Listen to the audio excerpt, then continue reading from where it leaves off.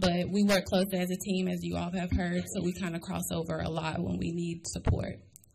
Um, just to kind of give you an idea of what our data looks like, uh, 73% of our caseload reflects the demographics of our county. So it's very small, students from small rural areas, low income, and predominantly African American. 73% of our caseload are males.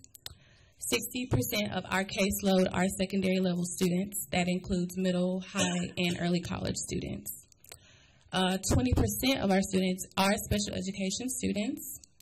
66% of our students have repetitive disciplinary referrals, and 53% of our students um, on our caseload experience severe emotional related behaviors and mood disorders.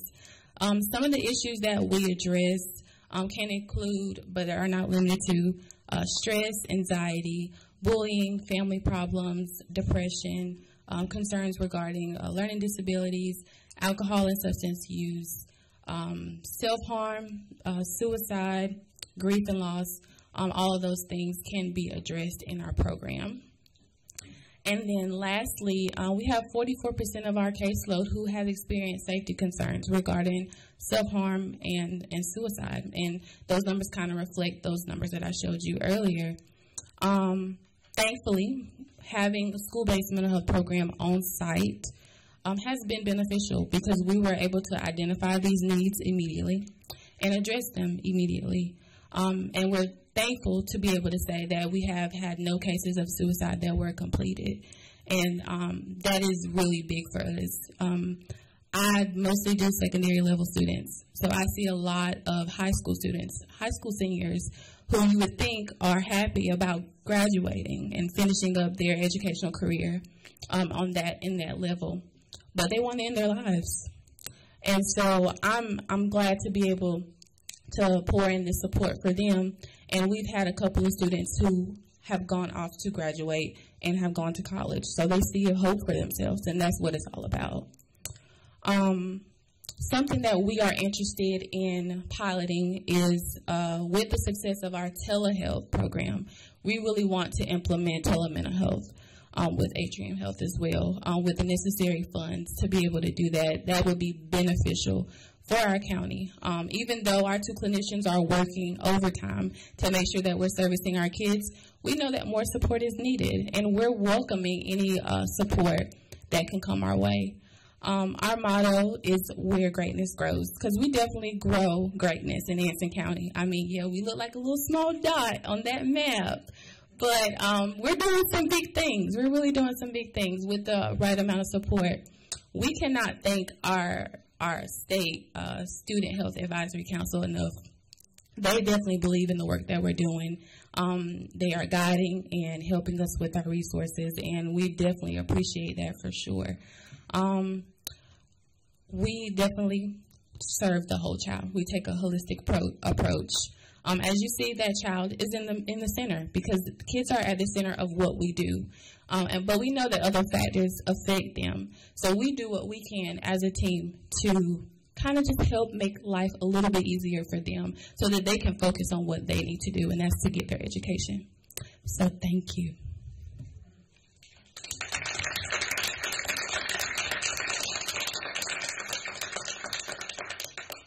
I think uh, Anson County what y'all doing and what you will be doing, and thank you for your efforts. Time we move on, and I guess I think we got another presentation. Right? We did, right?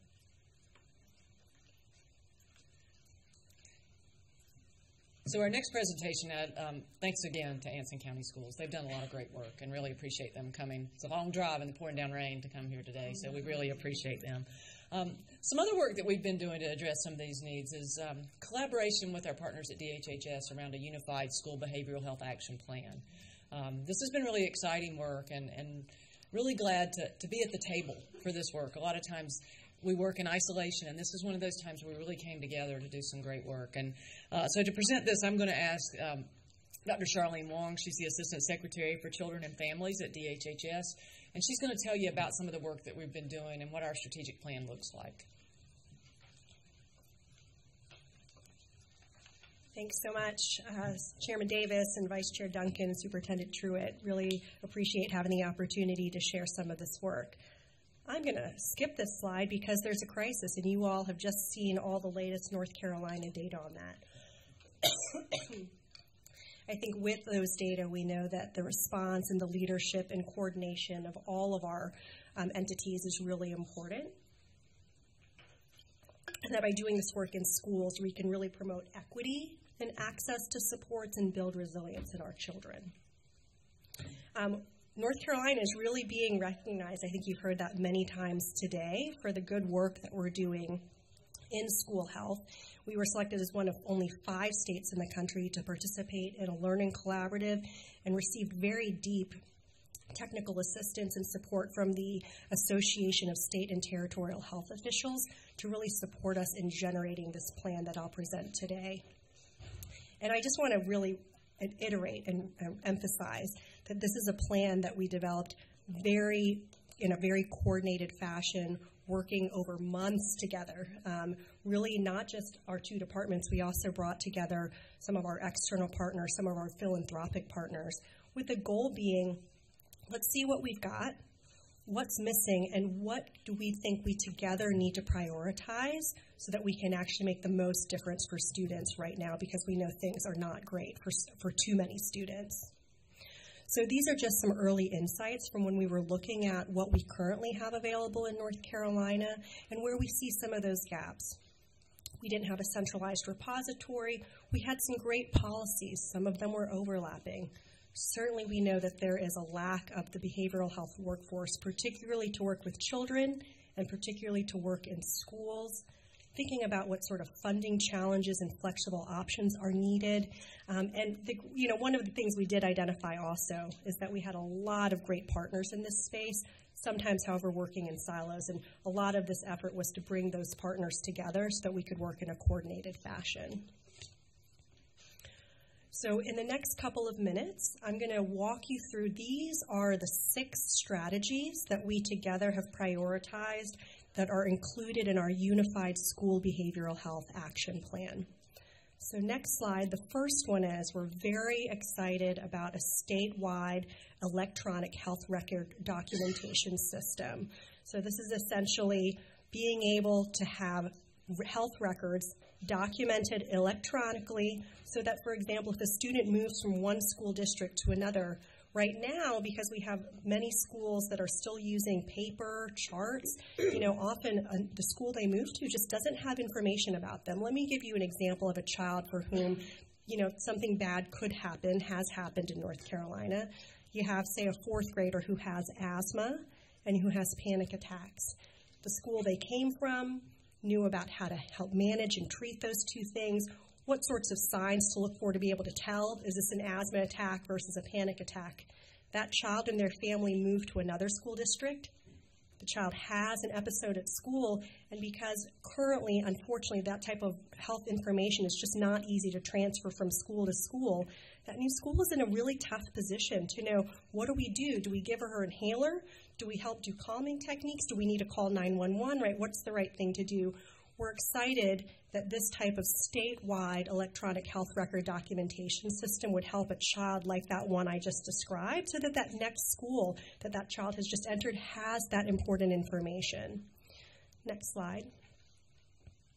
And so they'll be able to respond more effectively in a crisis. There's also, obviously, if you can think about paper chart records, there's a lot of concerns about privacy and security. This type of electronic system that we use in all of our health systems is certainly much more secure than having those paper records. We are also, you know, I'm part of the Department of Health and Human Services, which includes our Medicaid agency. This type of electronic system will also facilitate the type of billing and reimbursement that's needed for these services, which is so critical. The second strategy, I feel like the Anson team just set us up perfectly here, is doing more of these telehealth based programs in schools that specifically focus on behavioral health. Um, we know that right now only about 10% of schools in North Carolina have, will have telehealth services by sometime this year. Most of those are focusing on physical health, which is very important. With the data we've all just been looking at, we know that behavioral health and getting more of those clinical supports is really critical. I will say I am a practicing primary care pediatrician myself, and I love when I'm able to get any of my patients their therapy arranged that they're receiving in school. Because, in general, for most children, they'll require weekly, every other week therapy. And when I get patients who have that delivered in school, I know they're getting it on a weekly basis. It's so much better for the child, it's better for the family. On the next slide, they're actually missing less school because you can imagine they're just being taken out of the classroom for that session versus my patients who are going to another therapy appointment or having to get pulled out for a whole afternoon to get that appointment, for example. We also know that in North Carolina, when you look across our counties, we have over half of our counties where we don't have a child psychiatrist, where we don't have enough behavioral health workforce to work with children. So, this type of telehealth arrangement and delivering that in schools where children are is really a great way to increase access to these clinical evidence based supports for kids. The next strategy is one maybe some of you all have heard of. It's called Project Aware or Project Activate. Um, we have in North Carolina several school districts that have received federal funding, time limited federal funding for these types of very comprehensive programs that are focused on supporting students' behavioral health through things like new policies, I think we've heard it's all about relationships and building those community partnerships. So, for example, working with a local university to place counseling interns in schools or expanding behavioral health services for students. I will share that, for example, in one of the districts, um, they have really multiplied the number of, uh, Leah, some of the types of workers that you mentioned in your question earlier, right? The social workers, the school counselors, the behavior support technicians. This funding and these programs have really helped these districts to support these. We have three of our districts um, that are going to be hitting a funding cliff for this program that we know is making a huge difference for students um, on the next slide and we're looking to sustain these particular sites for a couple more years so that they can really work to get fully sustained in perpetuity. But here, just as an example, these are data from our North Carolina sites. Our Project Aware sites in North Carolina saw, on average, a 91% reduction in suspension rates during the first three years of the program. Obviously, that is huge. We also saw huge increases in services 500% more students screened for behavioral health needs, 19% increase in the provision of support services for students. And these particular districts that we're talking about sustaining funding for for two more years are serving uh, 4,300 students with intense needs and screening over 24,000. So huge impact programs here. The next strategy is really focused on those relationships, as we've again heard over and over about over and over again about today. So this is linking schools to their behavioral resource networks. This is actually something that we in the department and the Department of Public Instruction have worked together on using some one-time COVID dollars that have become available to us that Ellen referenced. That we are working with schools and convening them with people around them the health insurance payers, behavioral health providers, primary care providers like myself, Boys and Girls Clubs, YMCAs, other organizations that are in their community who are there and who really work to support behavioral, emotional, mental health of children because what we were hearing from schools is that sometimes they felt like they were on an island, you know, and, they did they just didn't have the relationships. They didn't know the people around them who were in their community who could really help support them. And so we have a group that is really now hand holding to connect dots, build those relationships, um, as well as helping schools to participate in a structure that we have all over the state. It's called System of Care, so that you not only have those relationships, but there's also a structure in which then those folks coordinate the care and the supports for children. So we're looking to expand what we're doing already with COVID dollars now and to be able to expand that. And you can see the types of investment here, the return on investment is huge. For every $1 we invest in this type of building of relationships and coordination, we get $11 back in reduced dropouts, improved test scores, shrinking achievement gaps. It's SHAC all the time, evidently, this meeting. so, one of the strategies also included in the action plan, for which we're looking at lots of different funding sources. We're starting with some COVID dollars that we have now, actually. As Ellen mentioned, we're providing that flexible funding to districts because I think some of the questions earlier are it might be that some districts have different needs, and so really letting the SHACs determine what are those needs in their own community. Uh, this year, using those COVID dollars, we've made $60,000 available to all eligible SHACs. Um, and on the next slide, we're seeing them already make plans and using those dollars for evidence based programs, again, that have so many great outcomes increasing graduation rates, improving attendance, reducing bullying. And then the final strategy, perhaps some of you all have heard of the program Mental Health First Aid and Youth Mental Health First Aid. These are trainings, sort of similar to what the Anson County team had described. And this is really a training all about how to teach both adults, so school staff, as well as students, how do you identify when someone's having a mental health emergency and what should you do when you recognize that? You know, there are some great example quotes at the bottom here, and I've had some stories that I've heard myself around, you know, a child who was asking to go to the bathroom at sort of an odd time in class, and a teacher who had been through this training was able to recognize right? Something's like not right about the way that student's behaving, the way that they asked, and recognized that actually these were some symptoms of a behavioral health emergency that was just starting to really escalate for this child. And because she had gone through this training, she knew the types of things to do to intervene for that child as early as possible. So with this um, type of training, we know again huge benefits here. Uh, we, the governor has been very generous and has provided GEER funding for the next two years, and so this is a program that we're just getting off the ground currently already. So, in summary, on the last slide, these are the six different strategies that I just reviewed. I'm going to down a little bit. Um, the six different strategies that I just reviewed are the six that are in the North Carolina Unified School Behavioral Health Action Plan.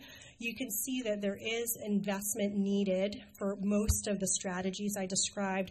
We're looking at all different sources, including potentially including some of these in the um, Department of Health and Human Services and Department of Public Instruction.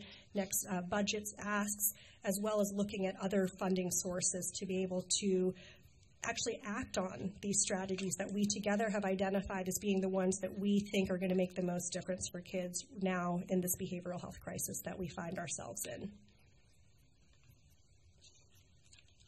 Happy to take any questions. One question, run behind, wait. Just to clarify, because I noticed this in the Anson County um, presentation, when you're referring to a mental health counselor, typically that's not a terminology that we've used around this table. It's social workers, psychologists, nurses, and counselors. So what would be the training of a mental health counselor? Where does it fit into that? Which strat in which strategy are you, are you I'm looking at uh, the mental health first aid, and it quotes a school-based mental health counselor. Oh, you know, actually, I can't speak to for that particular quote uh, what type of school health counselor that might be. That training is actually mostly focused on other staff, including staff who have no mental health training whatsoever. So it might be teachers, folks who work in the cafeteria. You know, it's, it's really broad. And actually, the other thing we're planning to do with that funding for mental health first aid training, again, hearing from schools is training school staff and personnel as well as training folks in the community again those partners that we spoke about uh, because they wanted to make sure that their partners were also using the same language and rec- being able to recognize and use the same types of systems Dr. Wong, I thank you very much for your hard work and with the station. thank you Also, thank you for all the work you, you and your committee always do. So thank you very much for your hard work. Thanks, sir. All right, um, Allison, I think you're gonna cover last, quick permanent rules.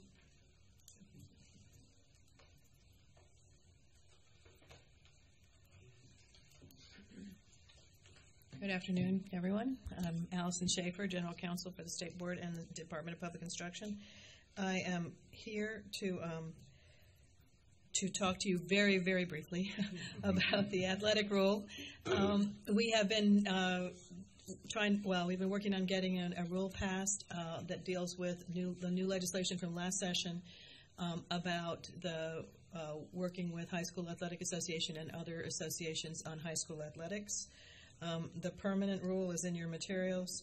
The proposal, um, we um, initially had, uh, following the legislation adoption in November of last year, we had, um, I mean, uh, sorry, in, in 2021, uh, in March of 2022, the board, this board adopted a temporary rule, which was a, a, a faster process, but we were required to move forward with adopting a permanent rule that outlines the relationship between the state board and the oversight responsibilities of the state board um, with regard to high school athletics.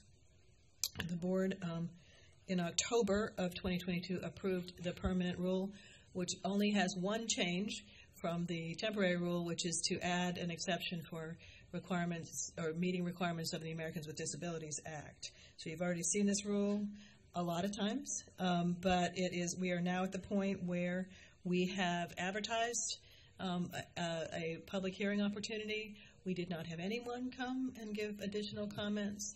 Um, we only had one person under the temporary rule, and that was the group, the disability rights group, that asked to have the ADA um, provision made. So we are here today, again, after we've been through the required advertisement period for you to adopt the final permanent rule.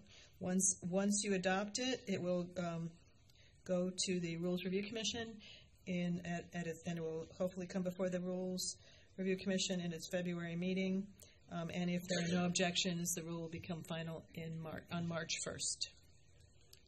Any questions? We again we've dealt with this often and regularly.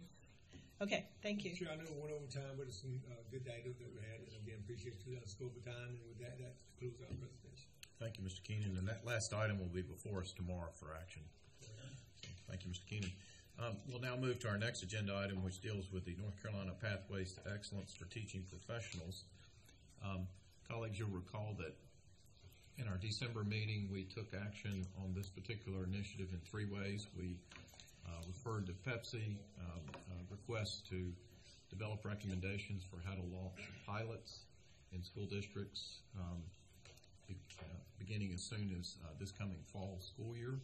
Second, we uh, asked the superintendent to perform an alignment study of the blueprint um, that PEPSC delivered to us around the pathways work and alignment between that document and the board strategic plan and Operation Polaris, which we anticipate uh, getting in February. And then the third item, which is the subject of today's agenda item, was we asked uh, Ms. Schafer, our general counsel, to uh, review um, pending statutes and policies with a particular focus on those that may need to be modified in order for us to conduct the pilots that we seek to, uh, to conduct as a next step in this program. So with that, I'll turn it over to Ms. Schafer. Thank you again. Um, do you have a PowerPoint before you that summarizes where we are with regard to uh, the pathway, the consideration of a pathways program for modification of the state licensure provisions? Um, and I'm just going to go through the law very quickly and uh, and where we are, and then talk about what changes need to be made in order to be able to implement a pilot program as requested by the board. First of all, licensure statutes are chap- Article 17E of Chapter 115C, and it sets out the requirements. Uh, and I'm going to go through this quickly. Um, the, uh, the state board under those statutes has the entire control of licensing applicants for professional educator, educator positions in the state of North Carolina and requires that the state board adopt rules for the issuance of all licenses and determine and fix the salary grades, etc. Um, the uh, also um, the legislation, the current statutes require the board to receive recommendation from PEPSC, which is the Professional Educator Preparation and Standards Commission, and seek input from the UNC Board of Governors, State Board of Community Colleges, educator prep programs, and other public and private agencies as necessary, which, um, again, PEPSC has been uh, taking the lead in considering a lot of these issues uh, prior to them coming before the State Board.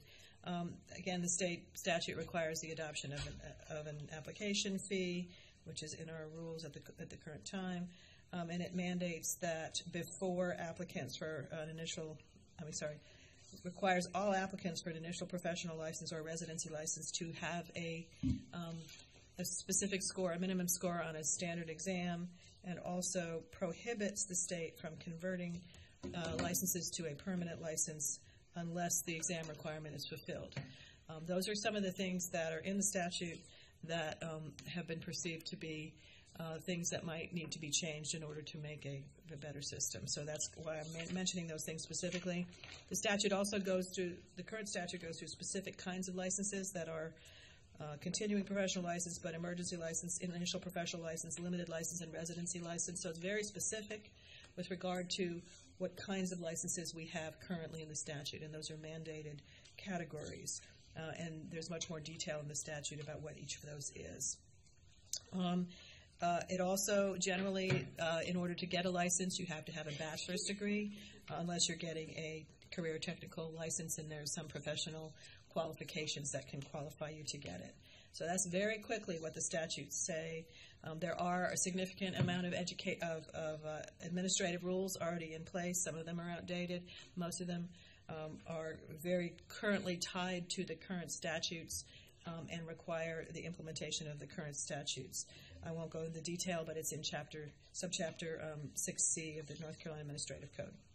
Um, and then there are current board, state board policies, which generally um, are things that don't need to be in rules or are things that are on their way to be converted to rules. Um, and those, again, the ones we have in place now are currently tied to, very closely to the state um, legislation I just mentioned and went over very briefly. And PowerPoint has more details. I just wanted to get through this. Um, and then also, um, just, just to recap very briefly, um, there are ongoing concerns about the need to reform the teacher licensure program to make um, additional pathways available to individuals who are interested in teaching, to increase support to assist teachers in becoming in preparing for the classroom, and to revise um, the system to allow more opportunities for professional growth while teachers remain in the classroom. So basically, additional um, kinds of uh, categories of teachers that are, are mentor teachers or um, lead teachers, and also to provide for higher higher salaries. Um, this was referred to the state board in February of by the state board back to PEPSC in February of 2021. Recommendations coming out of different groups. Uh, in November and December of last year, the state board um, heard from PEPSC about its um, 10 framework I- items that need to be uh, acted upon. I'm not going to go through those specifically, but just that there are um, things such as uh, creating advanced and lead teacher roles, um, uh, perhaps looking at different kinds of assessments instead of, or in addition to, or uh, as an alternative to uh, testing requirements, those kinds of things, and also building uh, a compensation model. Um, at its December 1 meeting, the State Board asked specifically for um, what this chairman has already described, but in addition has specifically asked General Counsel to come forward with, um, at this meeting, with rules, statutes, and policies that would need to be changed in order to develop a program. And I was specifically asked to talk about the things that need to um, need to be considered for a pilot program. So.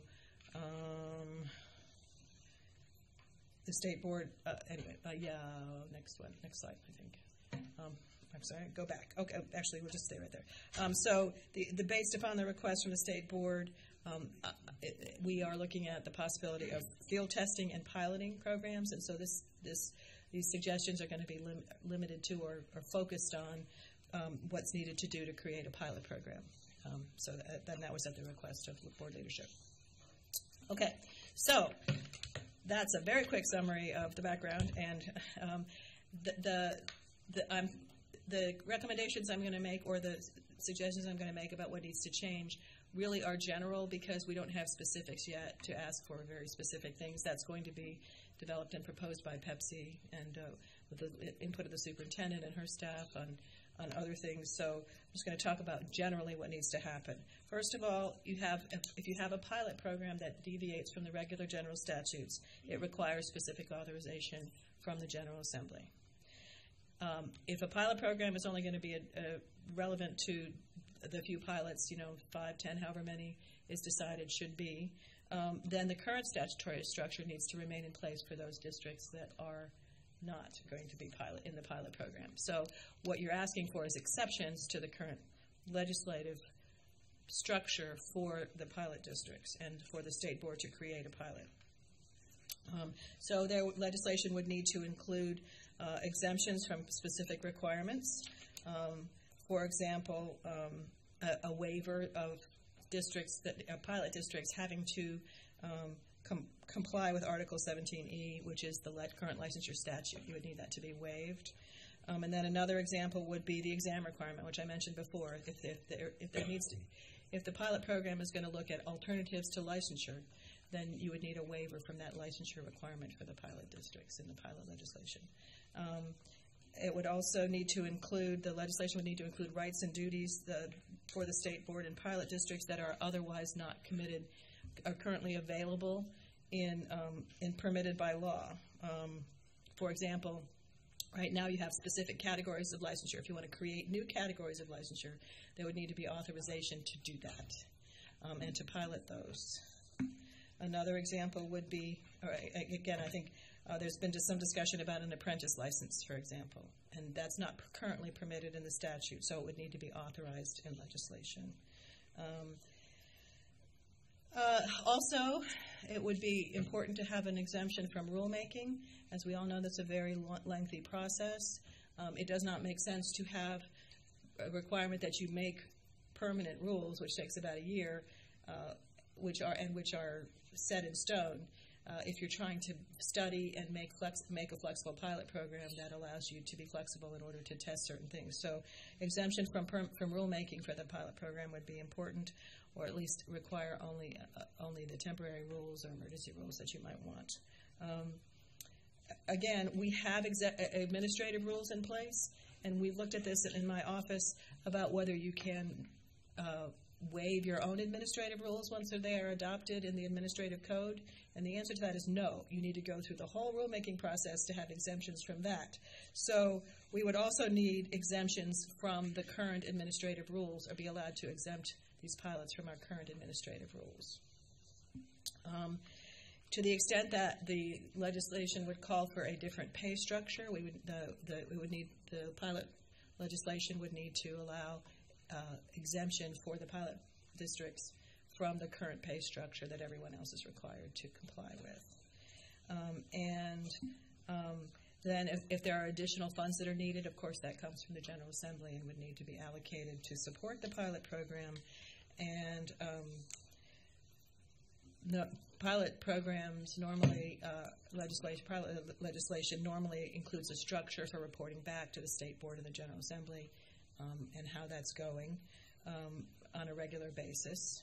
Um, and the, the last thing would be that there needs to be a multi-year schedule for, to accommodate how long the pilot program would go on and uh, how it would be implemented and assessed those are general kind of concepts that need to be included in legislation. The last thing I put in here is if the state board does have um, have any policies that are relevant, then those would need to be um, those would need to be changed as we see what the pilot program legislation might look like.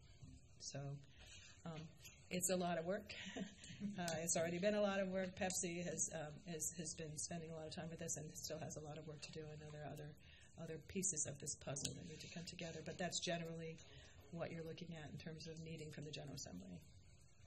Thank you so much, Ms. Schafer. That was exactly what um, what we needed at this point in the process, which is to uh, foreshadow what changes might be needed um, in terms of uh, once we know the specifics of how we want to conduct the pilots and what they'll contain, then we provide that feedback to you and your team to then help us uh, identify more specific requirements. But those general requirements or items that you outlined um, are not only informative to us about things that may change, but hopefully also informative to PEPSC in their work at developing recommendations um, for the pilots. So thank you. Before I open the floor for general discussion, let me turn to my co- Ms. Camnitz. Do you have anything to add to this? I think what you just said is exactly what we were looking for at this point, and it's going to be a helpful guide as we move forward. Okay, and turn to the superintendent. I, Anything? I uh, agree with you both. This has been incredibly helpful. Um, I, I, I feel like this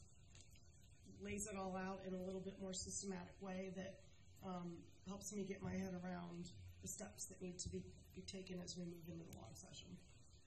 Then I'll open the floor for questions, comments from my colleagues. Dr. Oxendine. Thank you. Well, thank you for the presentation. It does begin to sketch out some things. My question has to do with, uh, if, well, with you. My New Year's resolution. Speak in the mic. Um, the, um, you made reference just a few minutes ago, I think, I don't want to put words in your mouth, uh, with respect to the suspension, i- these pilots would have to have waivers, waivers granted. To, to do something A different. opportunity coming out of the General Assembly approved by the State Board of Education, something like that. Um, would a waiver also be necessary for these pilot schools? Would a waiver be necessary around, um, NCEES? I don't The, know. the North Carolina evaluation? Um, be subject to the, the normal evaluation Yeah. process? Uh, unless there was an exception made, it would, they would be subject to the normal evaluation process. So that, I mean, I didn't try to list everything that would need Oh, or I could know need. I, I was just And it- thinking. Yeah, yeah, no, it would need an exception if there, if these folks in this program are not going to be evaluated with the, with the state instrument. It would need to be exception. Thank you. I have some other questions, but they'll come later. Okay. You know where to find me. Other questions or comments for uh, General Counsel? Mr. Hall? Thank you, sir. Uh, Just quickly, I mean, it- it's not a question, that's a comment. I think I'm clear now. I've been asked as if it's gonna happen next week. I was in line at payday. Don't never go to the bank on payday, Pete. Lined up uh, and asking me questions about this particular item. And I understand now, but there's no time frame. We don't know, might be five years down the road, could be three years down the road. Am I correct? Um, so our, our current thinking is that uh, by our March meeting, we would like to receive recommendations from PEPSC on the pilots so that we have an idea of what to, what legislative uh, changes to seek in this com- coming session with a plan, if we can move fast enough, to launch pilots in the fall, so next school year. That's pretty aggressive. Um, and so, as we do this work, we might have to modify that schedule, but that's, that's our current thinking. And then the duration of the pilots will, initially we'll look to PEPSC for recommendations on the duration. We might also have to modify the duration depending on how the pilots are going. But I would imagine a minimum of two years would be the, the least that would allow enough of the process to work to generate results to be able to form conclusions about how to uh, implement a program more broadly. Thank you. I think for, for most teachers, they won't even know it's going on because it's just going to be, I don't I mean, they're going to be aware that it, I guess, but I mean, it, it won't change anything for most teachers. But some of them For believe years. It will be for everybody. We'll, we'll be able to provide more clarity as this, as this develops. But we're, we're trying to move as aggressively as we can because our students and teachers sorely need these improvements and benefits, but, but it's complex. And so we also need to be thoughtful about how fast it generates change. Yes, sir. Anything else? Excellent. Thank you, Ms. Schafer. All right, we'll do one more um, discussion item before we take a break, and I'll turn to Dr. Oxendine, Chair of the Educator Standards and Practice Team. Dr. I- Oxendine. I am Olivia Oxendine. I chair this committee, and joining me in that responsibility is Miss Amy White. Uh, First of all, let me just say a wish of Happy New Year to everyone. 2023 finally arrived. It will go by quickly. Um, Tagging on to more about licensure. Here we go again. So this is um, LICN 001. Um, This is going to, this to me is kind of the mother lode in our policy document around the licensure of teachers in North Carolina. And I just want to commend uh, Dr. Tomberlin, who has spent, along with others, enormous time digging into LICN 001. I love this body of policy, folks. I guess I'm weird. But he has done some necessary work to clarify the ins and outs of around the residence license, around the limited license, around the emergency license, and around the permit to. It- Lots of ways that one can become licensed to teach in North Carolina. It's all spelled out in LICN 001. So I will ask Dr. Tomberlin to step forward. This is going to be a very detailed presentation. You will not yawn. You will pay attention to all the ins and outs, the ins and outs of everything you've always wanted to know about LICN 001. So come forward, Dr. Tomberlin, and educate us. Extend us a license.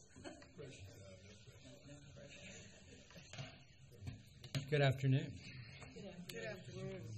I can assure you that this presentation will not be as exciting as that introduction. Yes, it will.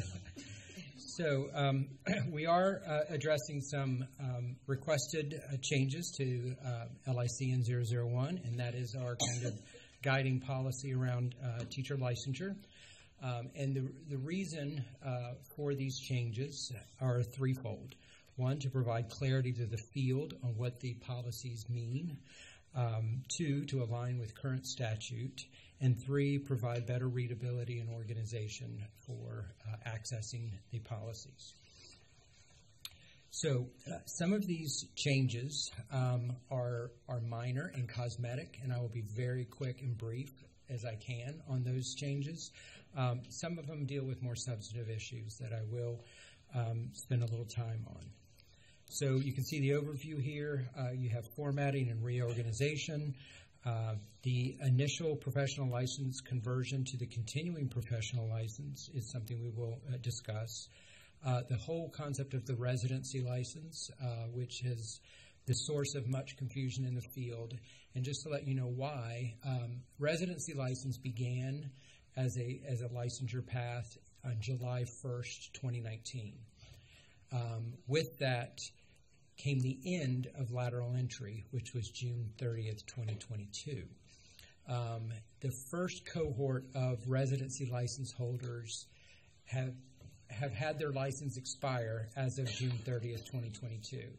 It is very common that you don't see the problems inherent in the policy until there's policy con- there's consequences to those policies, and that's when the confusion begins and arises. And so that's what's driving a lot of this is confusion from the field about uh, the, the, the end of those residency licenses. And then we'll address emergency licenses and limited licenses. So, converting an IPL to a CPL, um, in section 1.20A, we eliminated residency license from the section on the conversion because residency license needs its own section, much like we had with lateral entry. Uh, here we had the conversion process for both IPL and residency combined, and we've decided that's leading to some of the confusion, so we've uh, taken that out, the residency license out, and put it in its own section. Section 1.20C eliminated lang- language related to employment in terms of the license. Um, a, a, few years ago, the statute used to read that the per- that the candidate had to pass their um, licensure exams in the third year of licensure.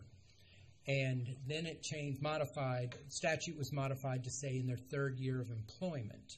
And so uh, there was some holdover language in this section that referred to the, um, to the license rather than the employment, and we've corrected that.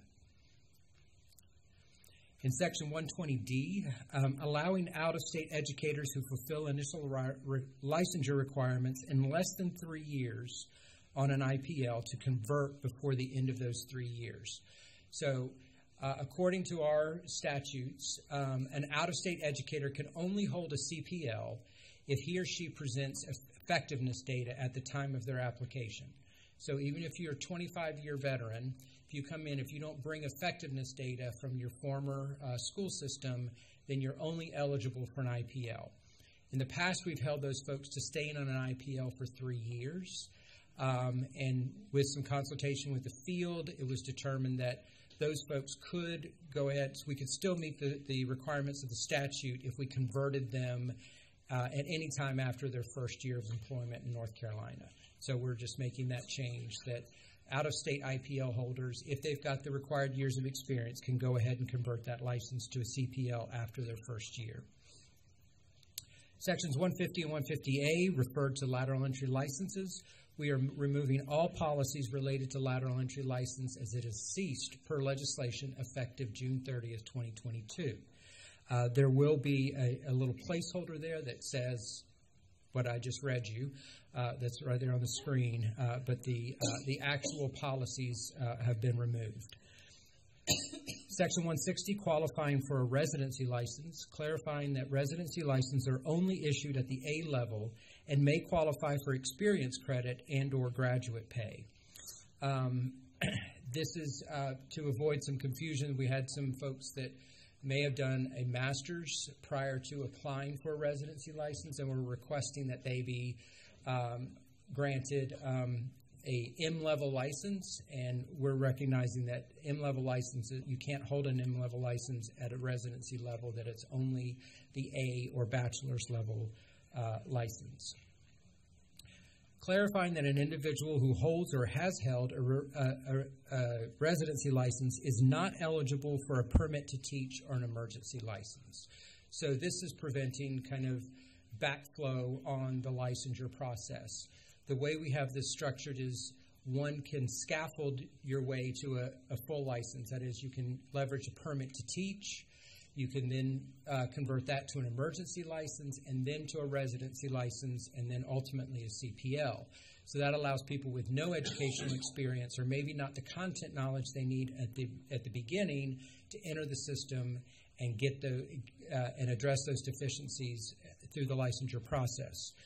What we're preventing here is that once you've entered that RL level, you cannot go back um, a- again to one of those um, temporary licenses. Uh, Dr. Tomberlin, Yes, ma'am. I, I don't want to interrupt because you're on a good roll here, but I did want to ask uh, just a clarifying question. So the, on the on the journey to a full license, a CPL, then the I think I'm correct. The permit to teach and the emergency license, it, those are not on that pathway to the CPL. They're outside the pathway. Is that correct? I, I'm not sure what you mean by. Well, we go from the I, uh, the traditional route is the IPL on three years, and depending on passing the the, the SPE license exams, then on to the CPL. But the permit to teach, the emergency license, isn't on that scaffold. Not on the traditional route. That is correct. There's no place for those in the traditional route. This is about um, allowing kind of an on ramp to that residency license for people who are career changers who never did any kind of traditional preparation program. That's that's my question. Yep. That's my and you gave the answer. Great. Thank you. Yeah. Um, all right, so next section qualifying for a residency license.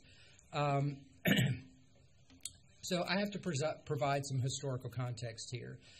So when we were making the transition from lateral entry to residency license, in policy we stated that anyone who currently holds a lateral entry, as long as that lateral entry license is active, you can go ahead and switch over to a residency license. And we'll switch you and give you another three years on that residency license. If, however, you wait until the, the lateral entry expires, if, and you don't meet the requirements to convert that lateral entry, then in order to, to hold a residency, you have to produce the test up front because we already gave you the three years under your lateral entry, um, and and now um, you didn't you weren't successful in that. To leverage an RL now, you have to show us the test up front. Um, this has caused quite a bit of confusion in the field, um, and so we're clarifying this in the statute. If this is the same teaching area, if your lateral entry license was in the same teaching area as your requested RL, you have to produce the, the tests up front and meet all of the re- eligibility requirements. Sure. Absolutely. So, uh, the lateral entry license went out of existence in June. That's correct. The RL replaced it. Well, the so there was a period of concurrency there from June, July 1st to June 30th, 2022.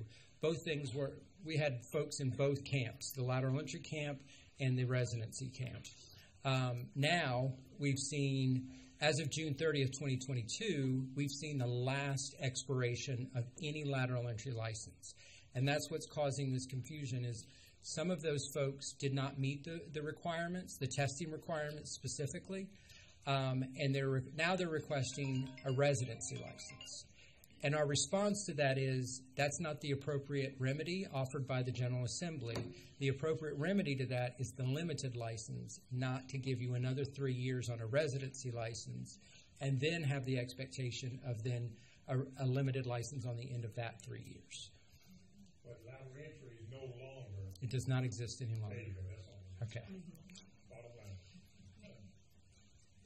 More of- and I may have gotten, uh, I'm digesting here. What is the, um, statute of time limitation between, um, for, for the candidate to provide the test results and still qualify for the residency? So if they were previously teaching as a lateral entry, and that's no more, how much time could pass that they could then provide the required NCSBE um, pass the content exam? So this is going to come up in a, in a, in a later um, policy recommendation. So it's really difficult for us to put any kind of time frame on this. And so the, the way we've done it, and this is kind of a little spoiler for what's coming, um, the way we've done this is we'll give you all the time you need. But the caveat is you have to meet the requirements as they currently are under state board policy. So if I had a lateral entry five years ago and I was working on completing that, and here it is five years hence, I finally got it all done. As long as the requirements are the same in current state board policy, we'll bring you, we'll, we'll accept you back. If those requirements change, you've got to meet the new requirements. And so that's how we've chosen to address. Uh, that's how we presented it to PEPSC, and PEPSC did approve that that recommendation. So to answer your question, I had an expired lateral entry, and I'm waiting to pass my test, and I passed my test. Um, the reality is, is that person wouldn't need a residency license because you just met all the qualifications to convert that license, and we would convert that license. That, thank you for sharing. You're welcome. Now, there is a question of can I hold a lateral entry license in one subject area and apply for an, and that expired and I wasn't successful. Can I apply for a residency license in a different teaching area? And our review of the statutes and of policy does not indicate that that's prevent that's un, that's disallowed by either statute or policy. So in the case where I held a lateral entry license in middle school science, but I couldn't meet those requirements, I can come back and request an RL in, let's say, middle school math. And I can pursue that as a resident without having to produce the test up front. Um, and we would allow for that, that provision. Clarifying for the timeline for renewal of a residency license. Um, the employing school system shall be responsible for verifying the candidate's enrollment in an approved EPP. A residency license is issued for one year and renewable twice within three years of the effective date of the original residency license. So, full disclosure here, this is an area of, of some controversy um, that I need to make you aware of. So, because of the testing requirements, their testing requirements have to be completed three years. You get three years to pass those testing requirements. The argument is, can a residency, can you can you hold the residency in year one, decide not to renew it in year two, come back in year three to renew it your second time, and then in year four renew it the third time. And while that may be allowable, the testing requirement is fixed at three years from the time you started. So that creates a real difficult situation. So, um, in our interpretation here, we've said that the residency license may be renewed twice, but it has to be in that three year window from the date of the original issuance of that license. The field has um, has pushed back on this a bit and said this doesn't offer maximum flexibility. So, what if a teacher went on leave of absence in one of those years? Can they come back and renew? Um, and that is the issue that's before us. I consulted with the chair of PEPSC about this, um, and he asked if I would go ahead and take this recommendation, disclose the, um, the, the, the comments from the field, and give you the opportunity to either pass it as it is or send it back to PEPSC for reconsideration. And this happened pretty late in the process, or I would have worked all this out before. So, um, So are you asked, is that something coming uh, before the board officially tomorrow? uh, I don't think we need to. I, I mean, I would say that's part of your action. This is for discussion. So, Okay, um, for discussion. clarifying requirements to renew a residency license. um, in order to renew a residency license in the, for the second or third year, the PSU must verify that the license holder taught at least six months in the prior year, and we use that as the definition of a year of experience. That's the same definition for how you accrue a year of experience. Um, continue uh, enrollment in an EPP, employment as a t- teacher in the PSU, uh, and the required uh, professional development as described in, in later in this policy. Um, so that's the requirements for renewal of, uh, of a residency license. Clarifying the requirements to reinstate a residency license. If an individual fails to renew the residency license for either the second or third year, the current residency license will expire. Within three years of the effective date of the original residency license, a residency license may be reinstated at the request of an employing PSU, provided that conditions two and three are met. And that's two and three from the slide above. So they have to enroll and they have to be employed. So what this is saying is my first year I worked with this district. I decided I didn't want to do it anymore. I, I, I went out my second year. A different LEA can pick you up and offer you that, that next renewal uh, as long as it's within that three year window. Um, and, and I just have to say that required some folks were viewing the residency license as kind of similar to a limited license, that it bound the employee to a specific PSU, and we wanted to make clarity that this a residency license is not a limited license. It doesn't have that same uh, impact. Again, that's a very important point, really an, an important point. So, being restricted, limited license does restrict you to an LEA. Is it in writing for clarity purposes that this is different, this is different from the limited license in terms of the LEA restriction? Uh, we didn't write it in that plain and simple English, I have to say. I mean, we, I think we got to the outcome with that language, but I. Um, no, that's okay. I. I um, it's almost like poetry. You get kind of this policy um, prose going on. Well, um, we could um, we could certainly um, take that back for for consideration.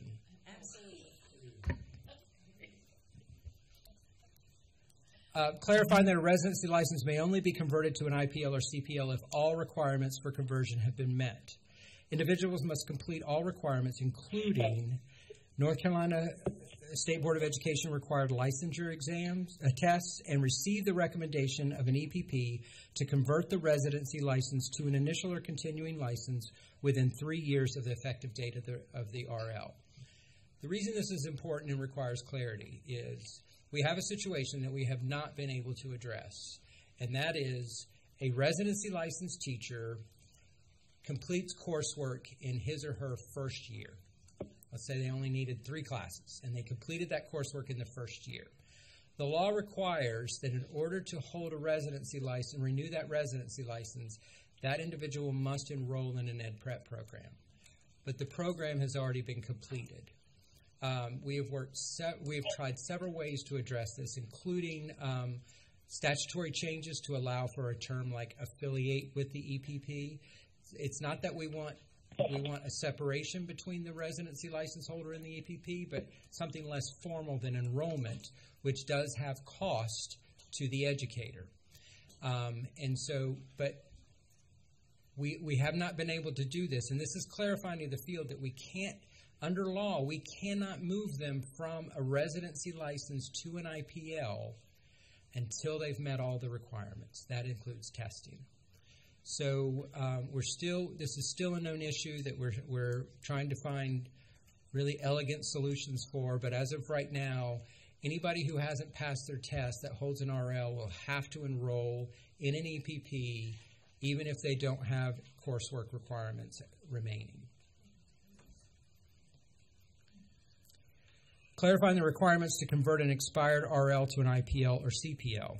Once the residency license expires, the license may be converted to an IPL or CPL upon the recommendation of the state board approved EPP and completion of current licensure requirements, including testing, at the time of the conversion request. So this clarifies that if you have an expired RL, there is no time limit on when you can convert that. However, you must meet the requirements that are current state board policy. You cannot say, oh, I finished the test that was 10 tests ago and expect to come back. Um, you have to meet the current test as defined by uh, the State Board of Education policies. Clarifying the requirements to clear additional residency license areas. You can hold multiple residency licenses in, in various subjects. Um, and if you add a subject to a residency license, it is another residency license. And you must clear that license under the same conditions that, you that you have for your first license. That is, you have to complete the program. Now, you could, the program could be concurrent. So you could be seeking a math and a science. You're doing all the same pedagogy requirements from your EPP. That's fine. But at the end, you'll have two tests. You'll have a math test and a science test to complete uh, to, to convert that residency license. Clarifying the timeline for conversion of an RL to an IPL or CPL. All requirements to convert a residency license to either an IPL or CPL must be completed before the expiration of the second renewal of the residency license. That's just reiterating, that's the same as the IPL language. Uh, you've got until the third year of, of your IPL to complete all those testing requirements or the license expires.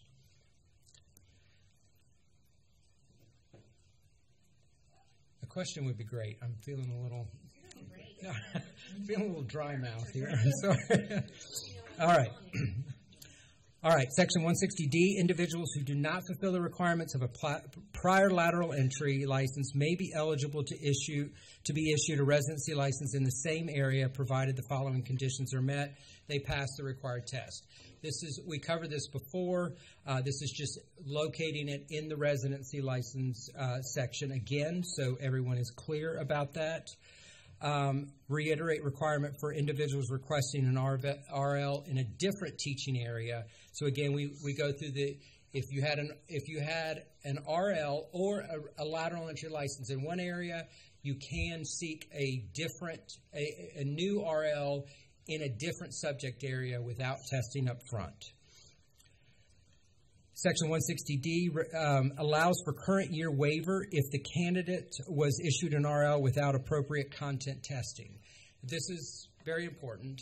Um, we have a number of folks. What they what they did was they had a lateral entry license. They let it expire. This past year, they were put on an emergency license, and then I'm sorry, the 21 22 school year, they were put on an emergency license. For 22 23, the district said, we're going to put them on an RL. We're going to put them on a residency license. Um, and they did not test. And um, our licensure staff did not catch that in some cases either, that those folks should have tested. And the, the residency license was issued without testing. So, our proposal to the State Board of Education is that effective July 1st, 2022, any application for a residency license for which an RL was issued or requested without meeting applicable content testing requirements shall have until June 30th, 2023 to satisfy those testing requirements or the RL is not eligible for renewal. This provision only applies to the 22 23 fiscal year. So those licenses have been issued. It does not seem prudent to try to retract those licenses, um, but it also doesn't seem the right solution to totally ignore the law that these folks have to have the test. So this is the compromise that we proposed to PEPSC. This was this was not controversial in PEPSC. This was uh, unanimously endorsed by PEPSC. Uh, but this is a request of the state board to offer that that policy provision. Section 180, permit to teach, um, removes condition that an applicant cannot apply for a permit to teach if he or she qualifies for any other type of license, and clarifies that the permit to teach is valid only until June 30th of the school year in which it was requested. So one of the things we've we've tried to build here is a scaffolded entry into the residency license for those career changers. You don't have enough content to qualify for an emergency you can you can use a, a permit. But we also wanted to offer that full flexibility, even if you had enough credit hours to qualify for an emergency. Let's let these folks gradually come into this. And all this says is, even if you qualify for an emergency, you can still hold a permit if that's the way you if that's the approach you want to take.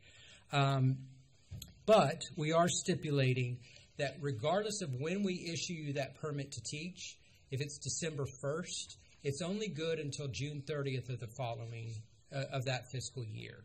Uh, it can't extend beyond a fiscal year. That then that license would have to be converted over to an emergency license, and we are making the same provision for the emergency license. Um, it doesn't matter when you issue it within the fiscal year; it will expire on June 30th of that fiscal year. So, Dr. Tomberlin, Yes, for clarity purposes, then, if a school district issues a permit to teach, uh, well, let's say an emergency license or a permit to teach for that matter, um, as late as, I, this would probably be a rarity, but let's say it's issued in March, Mm-hmm. that has to be renewed in three months. But It has to be converted. There is no renewal. So you would have to you would have to switch over to an emergency license. And so the districts the districts need just to be aware of this because there are other solutions to that problem. You could make them the long-term sub for the rest of the if you've got that short of a time, make them a long-term sub um, until the end of that school year, then put them on a permit for the following year. Um, it's just the clarity we want to uh, signal to the field. They're they're very masterful at, at navigating all these things. So um, as long as they know what the rules of the game are, and that's I think that's where we needed to make the clarifying statement. thank you. Yep. Section 2.00, limited license, allows for an applicant who held an expired lateral entry license to be issued a limited license. Um, this, this just says any expired lateral entry license, you can, uh, as long as coursework requirements were met, and it's testing that was that was the issue, that that person is eligible for a limited license um, because we felt we needed to overtly state that since we're stating in the policy that limited that lateral entry doesn't exist any longer.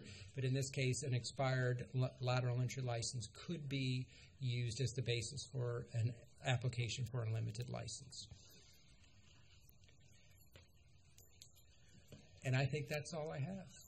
Very good. And we're ready for questions.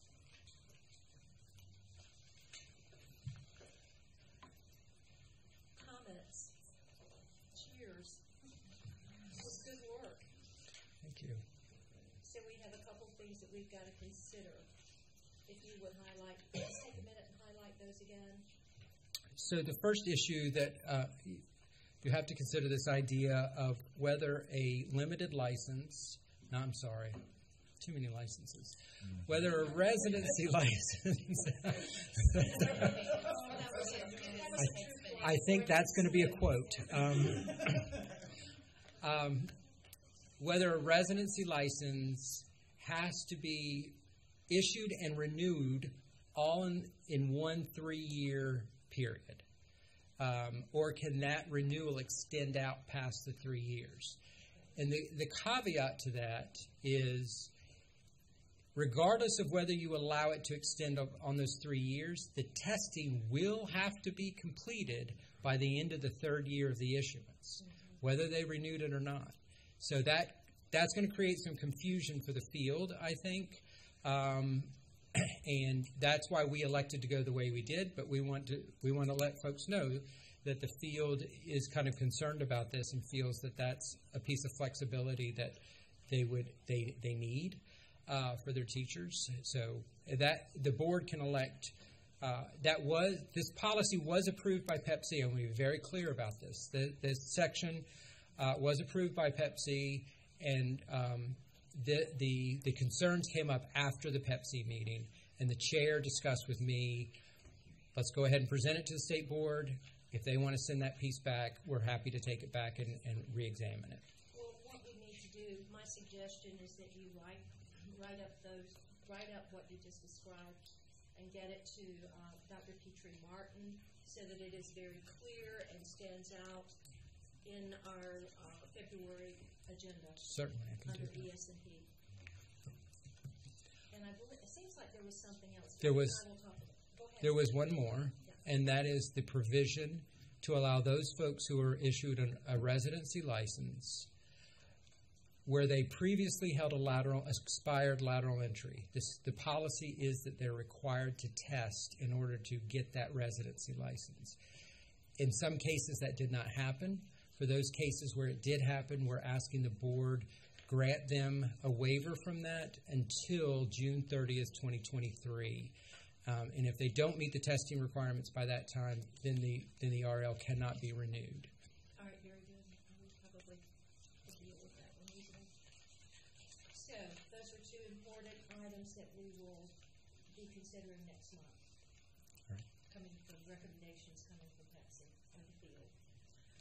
If there are no other questions or comments, thank you very much, Dr. Thank you. Tomberlin. And that concludes my very brief report. Thank you, Dr. Oxendine, and Dr. Tomberlin, thanks to you and your, your team um, for providing the clarity around this, these licensure issues. If there was ever any doubt that we need a pathways to excellence, that presentation just answered the question. It is confusing, it's difficult to understand, it's complex. We need a simpler, more straightforward, more effective licensure system. But uh, we appreciate your, your good work, Dr. Tomberlin, and your team's work, and Dr. Oxendine, your leadership on that. Let's now take a uh, break until 3:30. We'll reconvene at 3:30.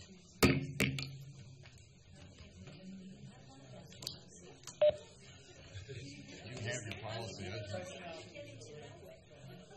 got to be something.